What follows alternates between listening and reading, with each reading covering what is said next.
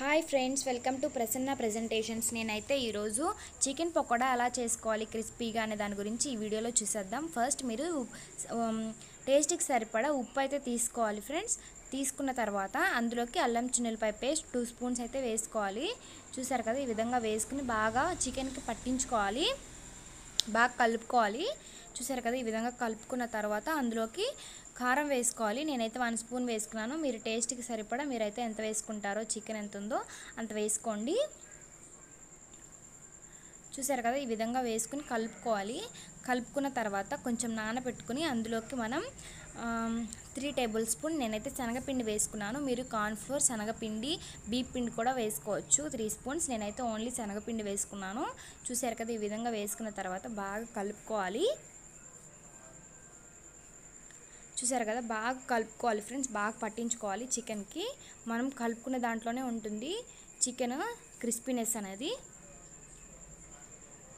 నేనైతే ఒక నిమిషం ఫ్రిడ్జ్లో అయితే పెట్టుకున్నాను ఒక టెన్ మినిట్స్ పెట్టుకున్నాను. ఇప్పుడు తీస చూడండి చాలా స్మూత్ అయితే వస్తుంది. చికెన్ చాలా చల్లగా స్మూత్నెస్గా వస్తుంది. బాగా కలుపుకోవాలి మళ్ళీ. ఒక ఫైవ్ మినిట్స్ వరకు కలుపుకోవాలి.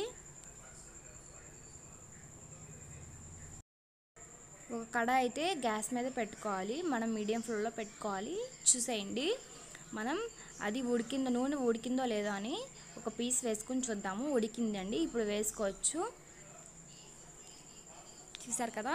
ఇలా వేసుకున్న తర్వాత బాగా వేయించుకోవాలి.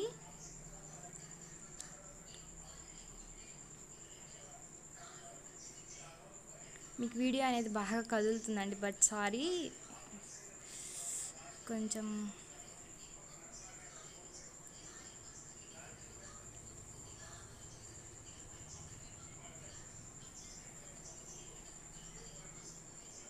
చూసారు కదా ఈ విధంగా వచ్చేంత వరకు మనం వేపుకోవాలి. ఇంతే ఫ్రెండ్స్ గోల్డిష్ గోల్డిష్ బ్రౌన్ వచ్చిన తర్వాత మనం తీసేసుకోవాలి. సో నీ మీకు ఈ వీడియో నచ్చినట్టయితే లైక్ చేయండి షేర్ చేయండి సబ్స్క్రైబ్ చేసుకోండి. సబ్స్క్రైబ్ చేసుకోవడం వల్ల నలుగురికి షేర్ అవుతుంది. మీకు మరిన్ని వీడియోస్ వస్తే థ్యాంక్ యూ ఫర్